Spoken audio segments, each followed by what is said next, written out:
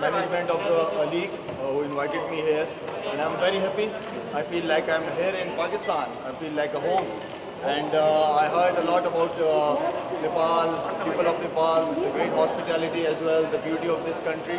Vatsalya natural IVF आधुनिक चिकित्सा उच्च सफलता दर अन्तर्राष्ट्रिय स्तरको उपचारद्वारा सन्तान प्राप्ति सम्भव छ And uh, trust me, I'm very, very happy. Uh, and uh, inshallah, I'm cricket.